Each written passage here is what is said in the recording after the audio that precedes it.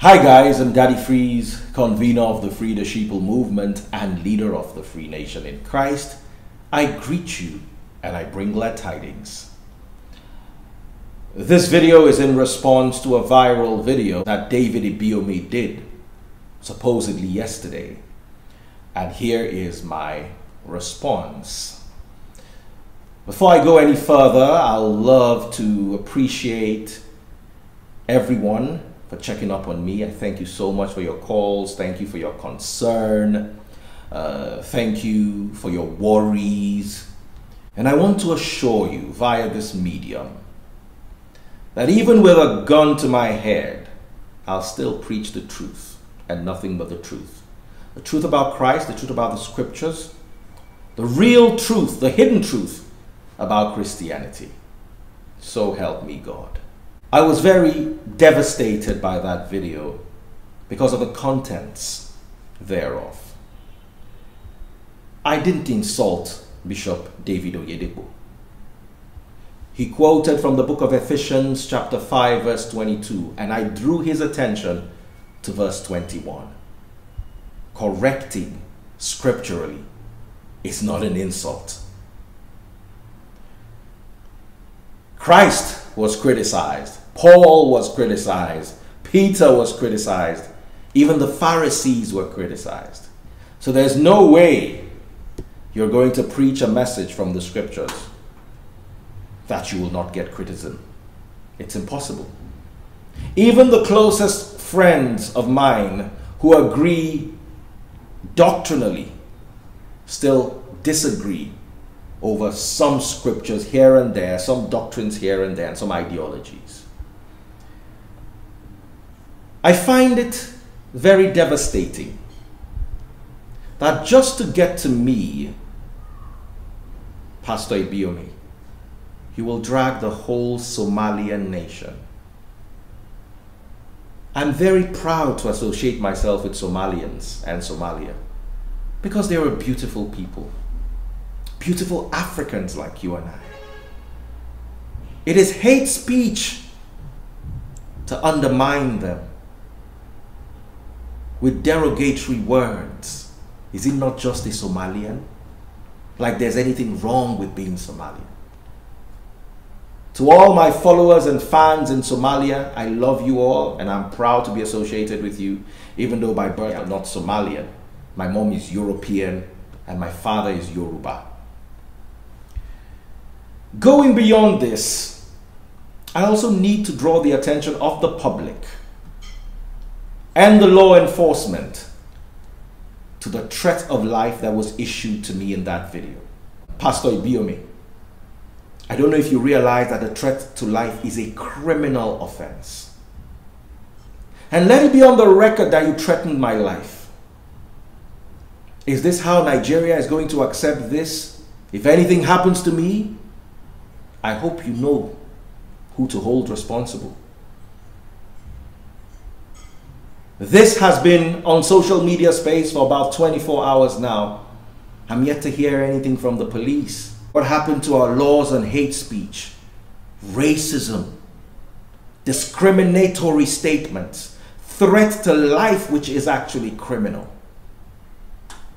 What happened to all this? Are we going to keep quiet and just let this lie because it's coming from a pastor? Pastor Ibiyeomie, you went on again to undermine the noble profession of broadcasting. I'm a proud broadcaster for the last 25 years. I've dedicated my life to this beautiful, noble profession. I've taken my children along with me to the radio to familiarize themselves with the radio, hoping that one or two of them can fall in love with it. You demean it to such a great extent such a glorious profession that disseminates very important information, a tool used by all of us, including the church.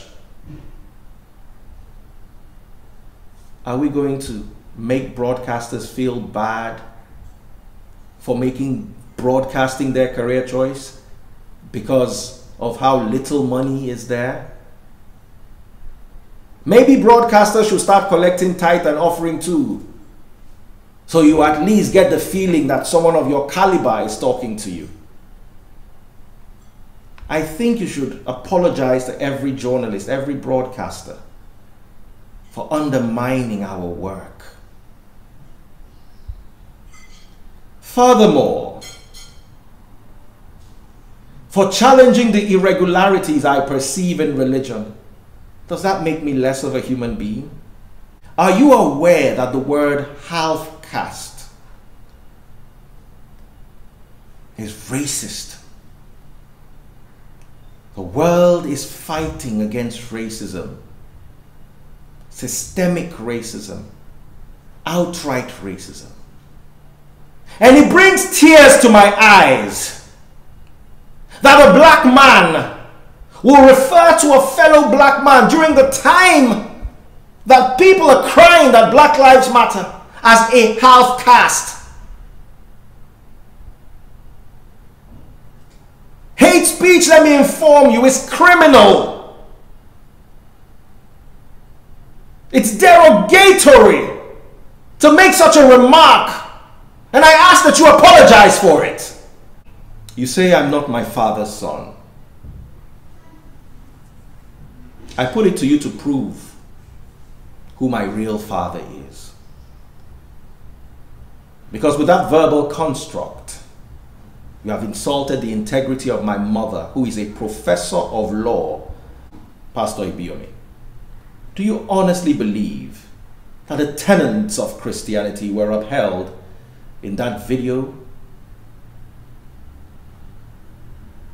Do you believe that as a pastor behind a pulpit, you showed the likeness of Christ in your utterances in that video is what you did in synchrony and symphony with the Christian scriptures?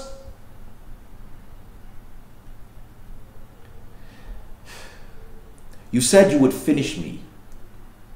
From my understanding, that's another criminal offense. A threat to life is criminal. And, it, and if anything happens to me, so I'm speaking, I'm speaking to the public, I'm speaking to the police, I'm speaking to the world at large. Should anything whatsoever happen to me, I want you to know who to hold responsible. Every day we shout for freedom of speech. How can our dreams be shattered with threats of death from the ones we expect to guide our spiritual lives.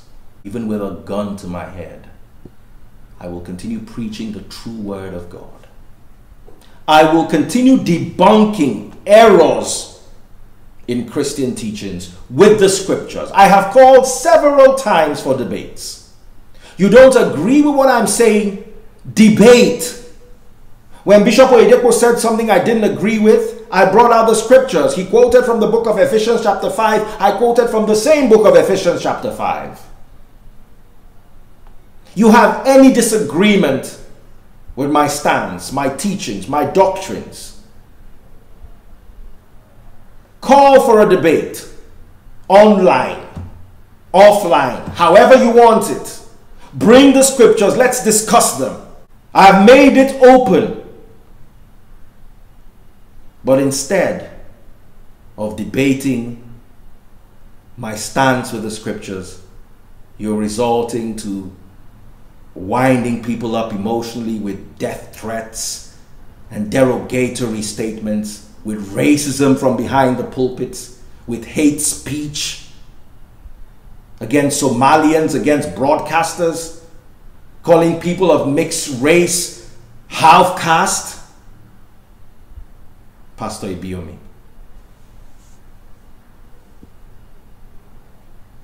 This is all shades of wrong.